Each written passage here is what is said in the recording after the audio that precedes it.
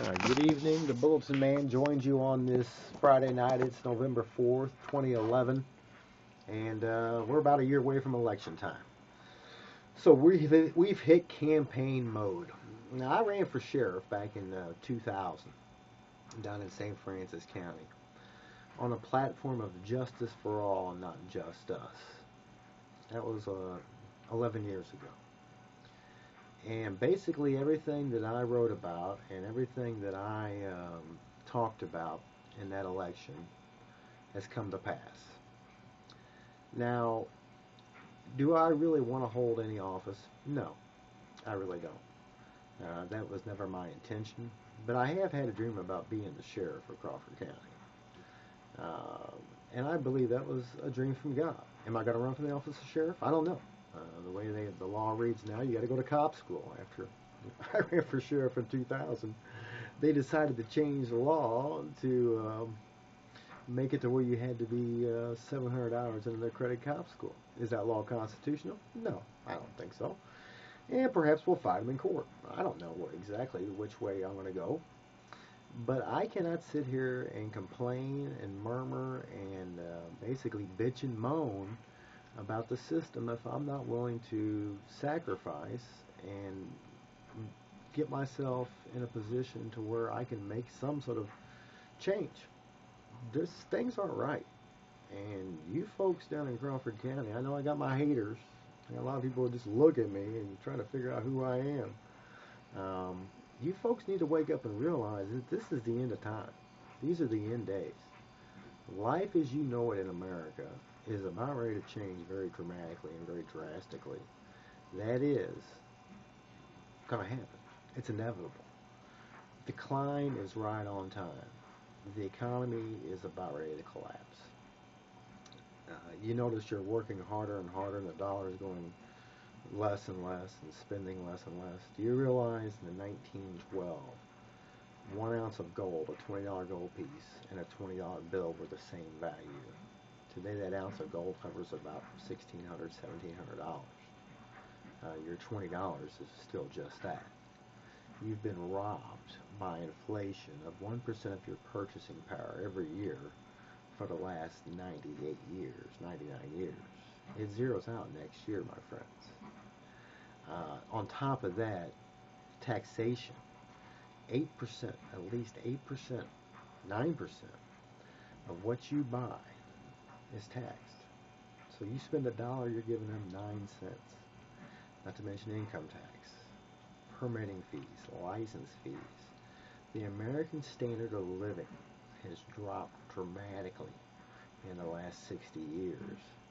And most of you folks don't even realize it or don't even care.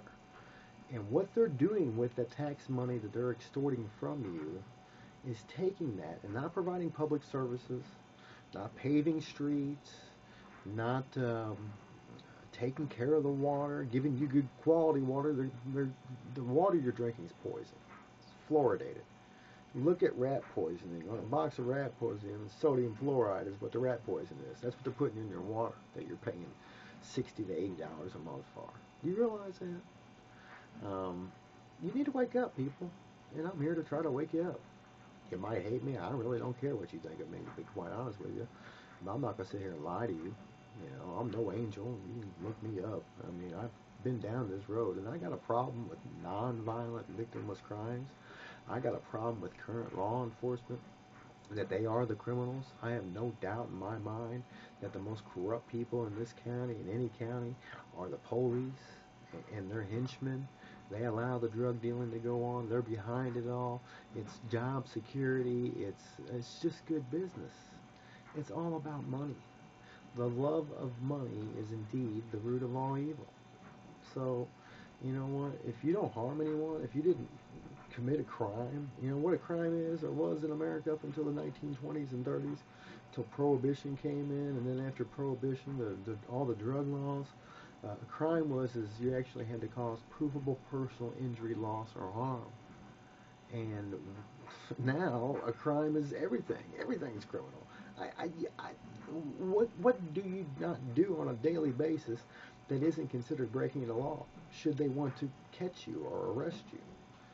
Um, and that's really not the way this country was designed. You see, the whole point and purpose of our government is to protect and maintain our God-given individual rights. It is not to play God.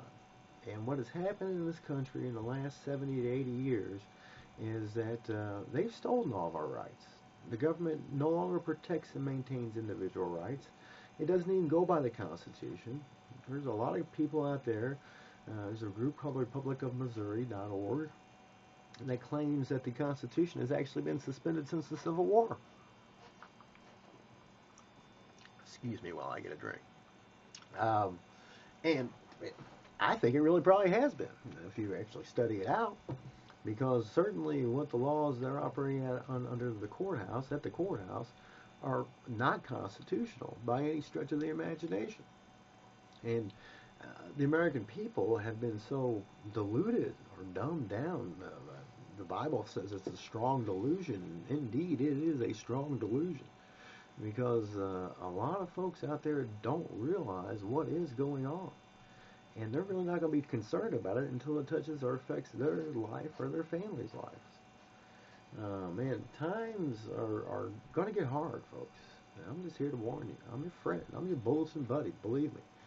I loved it more than you could ever imagine, or I wouldn't put myself in the position of great peril and harm I'm a praying man. I know the Lord's going to take care of it. He has delivered me out of all my afflictions, and He will continue to do that until He calls me home. Uh, and this I know because the Bible tells me so, and not only because the Bible tells me so, because I've been delivered out of a few afflictions over the years. Uh, this is my wall of shame, or whatever you want to call it. But uh, I've made the paper a few times, folks. And uh, the reason why I've made the paper a few times is because I don't like the establishment.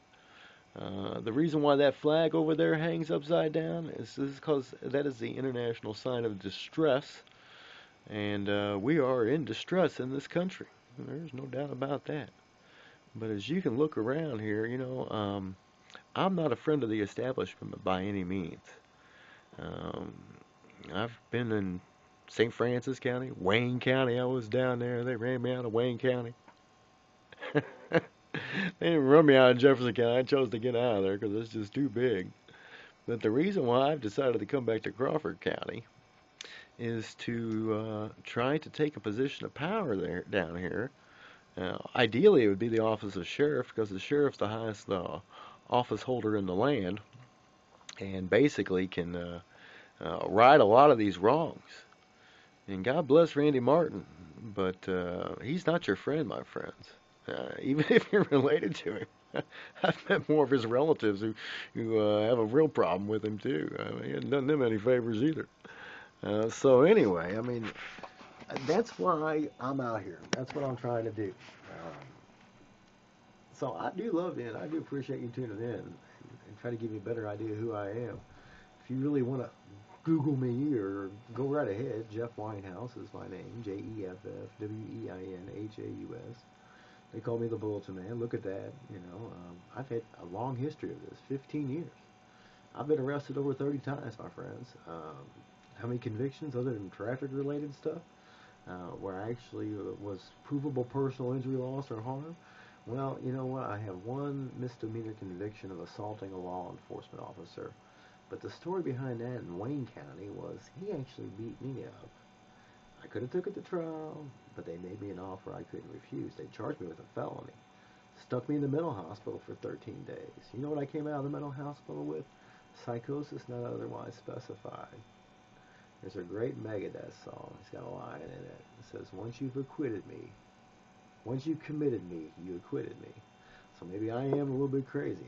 I don't know. That's for a court to determine. But um, I'm just telling you, folks, that you're going to have to stand up and take back your country. Uh, power is not given up without a demand. And uh, the people who are stealing your power, who are stealing your rights, and who have hijacked this country are your neighbors and your friends. And they're ripping you off, and you better understand that and better wake up and realize it. They're really not very good neighbors, nor are they being very friendly to you or your family. So um, pray about it. That's all I can tell you. You need to get saved. You know, these things are spiritually discerned. if you're unsaved, if you're just living in this world, you're not going to see what I see. You're not going to see the wickedness. But if you just simply do this, say, Heavenly Father, in the name of Jesus, I repent of my sins. I ask Jesus into my heart. Forgive me of my sins. Jesus, come into my heart. Renew in me a new mind. Change my mind. Change my heart. Fill me with your precious Holy Spirit. I confess with my mouth that Jesus Christ is Lord. I believe in my heart that God raised him from the dead and he is soon to come.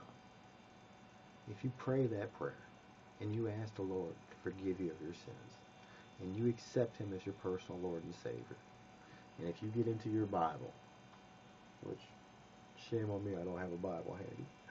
If you get into your Bible and you start reading a King James version of the Bible, because the oldest trick in the book is did God really say?